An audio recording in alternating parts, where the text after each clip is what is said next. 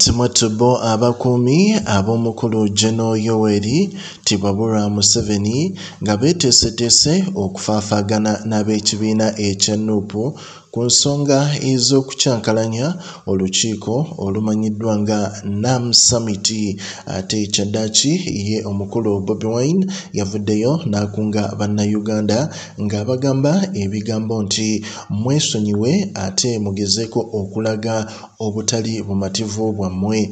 Yadde minisita yavuddeyo n'abagamba nti bannayuganda muyina okwaniriza abagenyi abagenda okujja abakulembeze ne ba delegates ab'enjawulo abasoba mu kikumi abiri. Bobi Wine ye n'avaayo n'agamba abantu nti abantu bano mulage mubalage obutali bumativu bwammwe naddala engeri ensi gy'etambuzibwamu.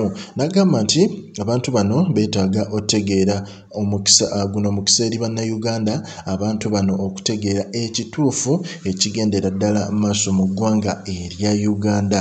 Nsonga ki? Mulimu okuwamba abantu mulimu ate mwattu n'okutemula abantu mulimu n'okubuzaawo bannayuganda ng'abakikola ate be bali mu buyinza olw'ensonga ey'okuba nga ate mwattu tebaagala kye bayita opposition so Bobi Wine yakunze abantu n'abagamba mulage obutali bumativu bwammwe.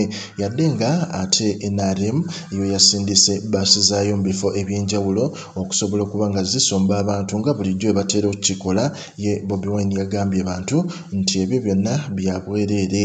Muyina okulaga nti ekituufu kiri nti eggwanga litambula mu mbeera mbi.